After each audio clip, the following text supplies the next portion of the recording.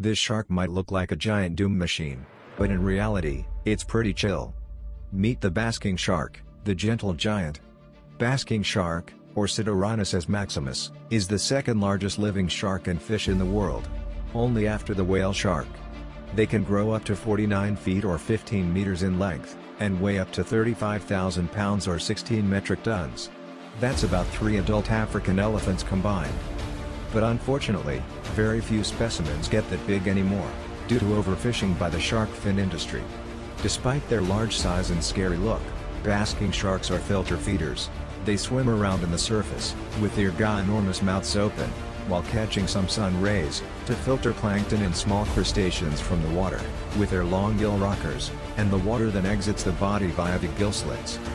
Basking sharks are passive, and pose no danger to humans in general, but they have extremely rough skin. Thanks for watching this video.